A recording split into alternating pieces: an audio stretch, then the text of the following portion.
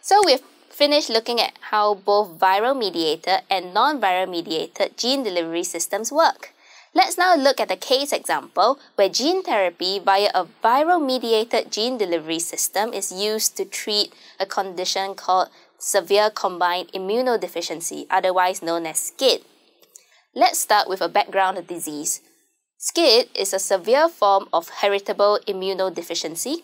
It's also known in popular culture as the bubble boy syndrome. In affected individuals, the T and the B cell lymphocytes, which are specialized infection fighting white blood cells, are either reduced in numbers or malfunctioning. It's also known as combined immune deficiency as it affects the function of two types of infection fighting cells, namely the T and the B cells, while other immune system diseases involve only one. It affects about 1 in every 100,000 births. Victims are extremely vulnerable to severe recurrent infections, and so babies usually die within a year. They have to remain in the sterile environment of their homes to avoid infections, and if they do catch an infection, they are given massive doses of antibiotics. The quality of life for these patients is very, very poor. There are a few types of SCID. The first type is X-linked SCID.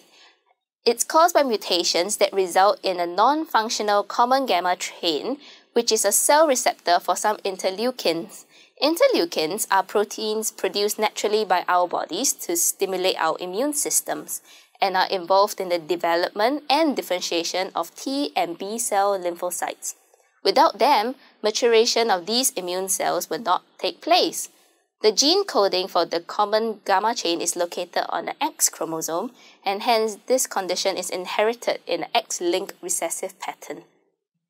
The second type of SCID is due to adenosine deaminase deficiency. Adenosine deaminase is also known as ADA. This type of SCID is due to a defective adenosine deaminase enzyme, which in normal individuals break down adenosine. In the absence of ADA, DATP will accumulate within the cells of these individuals. DATP will hence inhibit DNTP synthesis, and this leads to an overall imbalance of DNTPs, which will affect DNA synthesis. In case you're wondering, DNTPs are your nucleotides that make up your DNA. The effectiveness of the immune system depends on lymphocyte proliferation and maturation, and hence DNA synthesis. Without our nucleotides, DNA synthesis is impaired and hence the immune system is compromised.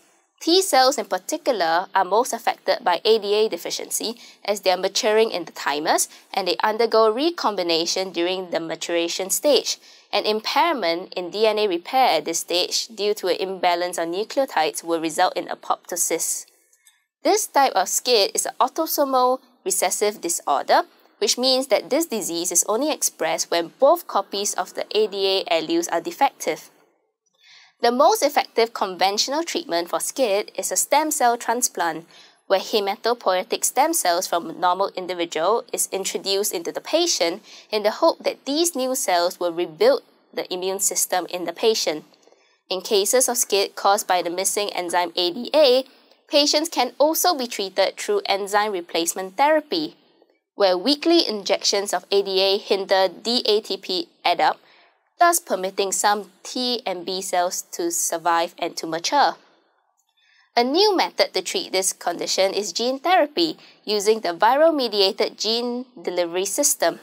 The first approved gene therapy procedure took place in 1990. This involves removing T lymphocytes from a child with SCID and inserting the normal functioning ADA gene into them using the retrovirus as a vector. This retrovirus is then allowed to infect the T lymphocytes and hence transfers the ADA gene into the chromosomal DNA of the lymphocytes. These cells are then grown in culture to ensure that the ADA gene is active before being transplanted back into the patient. This is an example of an ex vivo approach to gene therapy. T cells suffer the most from ADA deficiency and hence they are chosen as the target cells. The production of ADA in patients is transient and lasts only about a few months, as only a batch of T lymphocytes will be treated at one time.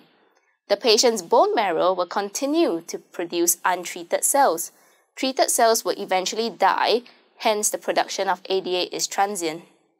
At this checkpoint, you should be able to talk about what SCID is, as well as the gene therapy approach or treatment for this condition.